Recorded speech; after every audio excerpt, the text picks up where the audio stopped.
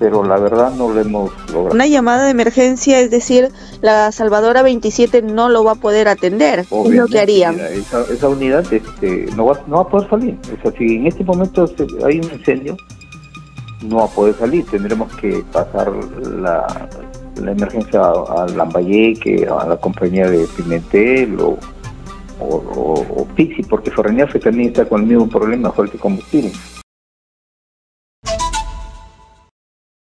Katiuska, buenas noches. Información en vivo desde Chiclayo. Los vehículos contra incendio en la ciudad de Chiclayo, que pertenecen a la compañía de bomberos Salvadora número 27, siguen sin combustible hace tres días. Ahora que se ha reportado eh, hace unas horas una emergencia, los bomberos de la Salvadora 27 han tenido que ser trasladados en camionetas para poder llegar hasta este lugar. Hemos conversado con el eh, comandante Sebastián Elmer González, el ex comandante departamental de la región Lambayeque, de quien vamos a escuchar sus declaraciones.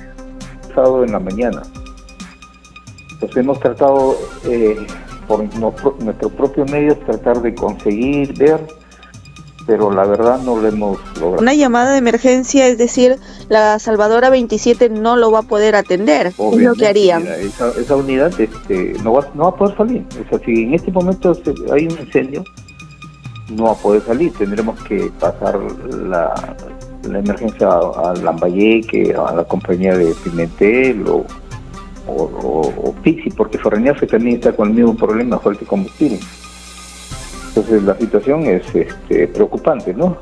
Pero como te digo, las autoridades, a pesar de que supuestamente en ese grupo de WhatsApp eh, se comunican, saben lo que, lo que pasa de, todos los días de las instituciones de, primera respuesta, pero nada, para nada hacer, ¿no? No, no, no, no, no para ellos es lo mismo, creo, ¿no?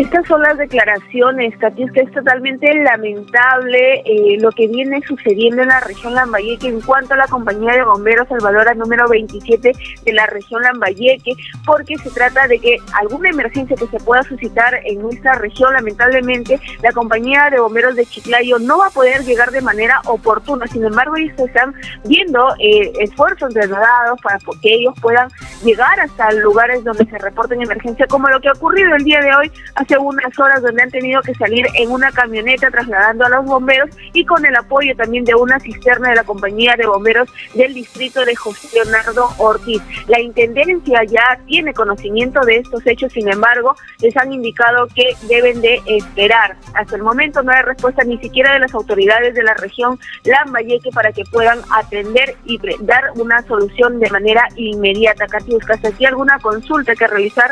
Así es, Noeli. Bueno, es preocupante cómo no tenemos respuesta. ¿Qué pasaría si ocurre algún incendio de gran magnitud? ¿Cuál sería la solución que ellos podrían plantear?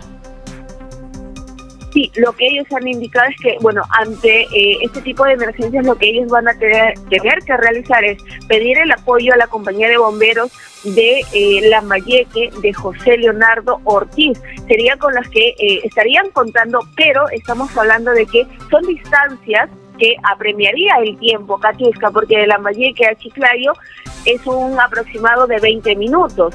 ¿no? Hablamos que de José Leonardo Ortiz hasta el mismo centro de Chiclayo o donde se pueda reportar alguna incidencia también va a demandar tiempo.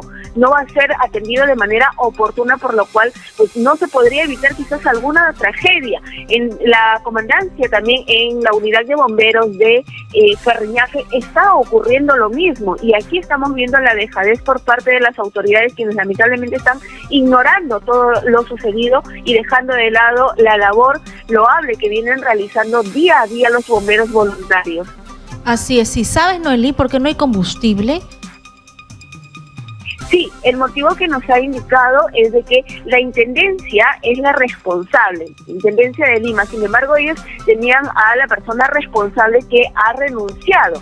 Ahora quien ha tomado eh, a cargo a la región Lambayeque es eh, una persona responsable que trabaja para la Intendencia, pero que reside en la ciudad de Cajamarca. Sin embargo, llega a Chiclayo entre una a dos veces al mes, algo insuficiente, por lo cual tienen que trasladarle el pedido hasta ellos, pero no es eh, no viene siendo atendido de manera oportuna urgente ante este tipo de situaciones. Lo que les ha indicado, porque hemos, eh, lo que nos ha indicado el comandante González es lo siguiente, de que ellos tienen que esperar y la Intendencia les ha comunicado que probablemente el día de mañana estén apenas recibiendo solo una respuesta, ni siquiera una solución, Katiuska. Por parte del gobierno regional de Lambayeque, también han sido, eh, han ignorado el pedido que ellos están realizando desde el día sábado, por lo cual me he tratado de comunicar en reiteradas oportunidades con el gobierno regional de Lambayeque, no recibiendo respuesta alguna, Katiuska, algo totalmente lamentable. Apenas hace unos momentos que hemos tenido, he tenido personalmente que realizar como, eh, como exitoso, como medio de comunicación, porque somos la voz de los que no tienen voz, Katiuska, escribir a grupos de WhatsApp donde estamos agregados diferentes medios de comunicación y ante esa presión han dado una respuesta que ellos recién han tenido que esperar que la comandancia de bomberos lo hagan de manera formal, envíen los documentos para que puedan darle el trámite, algo que no se puede eh, esperar y la burocracia siempre apremia, Katiuska, porque estamos hablando que se reportó el día sábado y no se puede dar una solución de manera inmediata hasta que ellos presenten unos documentos de manera formal sin embargo, si hay un incendio, estamos dejándolos en la nada, no solo a los bomberos, sino a aquellas personas que están requiriendo de este apoyo. Bien, Noelí Bracamonte, gracias por esta información y también por todo ese esfuerzo que has hecho para buscar una respuesta como lo hace el periodismo responsable. Y como tú lo dices, somos la voz de los que no tienen voz.